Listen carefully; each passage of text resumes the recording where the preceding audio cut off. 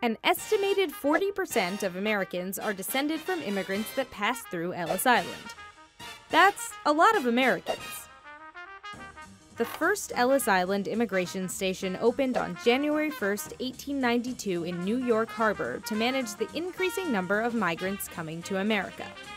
In that first year, a record number of nearly 450,000 people passed through to enter the United States. By the time Ellis Island closed in 1954, that number had reached 12 million, although most of those people arrived by 1924. Migrants fleeing poverty and persecution or just looking to start a new life traveled by private steamship from Eastern and Southern Europe. Voyages could take one to two weeks. Ships divided passengers by wealth and class. First and second class passengers slept in staterooms and cabins while everyone else stayed in a space at the bottom of the ship called steerage. Steerage passengers paid around $30 per ticket, but steamship companies would sell as many tickets as they could. First and second class passengers paid even more. Because of this, steerage was often overcrowded and unsanitary, with shared sleeping compartments and no privacy. But hopeful immigrants stuck it out, believing it would be worth it for a chance to live in the United States. When ships finally arrived in New York Harbor, health officers boarded and looked for signs of disease before anyone was allowed to disembark. Healthy first and second class passengers were processed on the spot and allowed to enter the United States without setting foot on Ellis Island. Everyone else waited, sometimes for days, for small ferries to take them to the immigration station for processing. Migrants walked down the gangplank with all of their belongings and dropped their bags in the baggage room on the ground floor. They then continued up a winding staircase to the registry room, which was upstairs for a reason. Doctors stood on the second floor and watched each person climb the stairs for signs of health problems.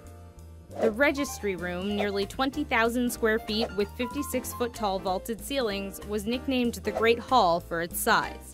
It was here that most migrants' fate would be decided. The first step to entry was a six second physical exam by a uniformed doctor. Anyone considered a risk to public health was marked with a piece of chalk and taken out of the line to be examined further.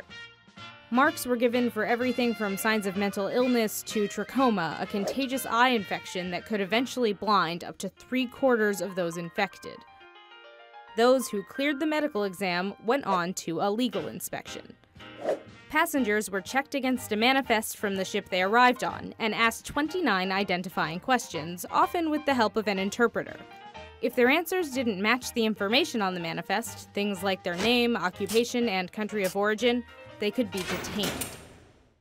The legal interviews could take as little as two minutes, and the vast majority of people passed through with ease and were allowed to enter the country after being issued landing cards with their name, often misspelled, and destination. For others, the stay on Ellis Island was considerably longer. The few who were detained for either medical or legal reasons could be on the island overnight or for months. Once their records were finally reviewed, they would either be admitted to the US or sent back to the country they came from, free of charge. But only 2% of the 12 million immigrants processed at Ellis Island were deported in this way.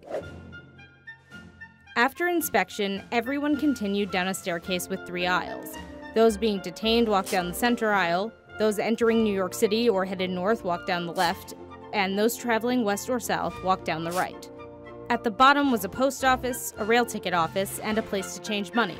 For some, family waiting to greet them, and for all, a new life in America.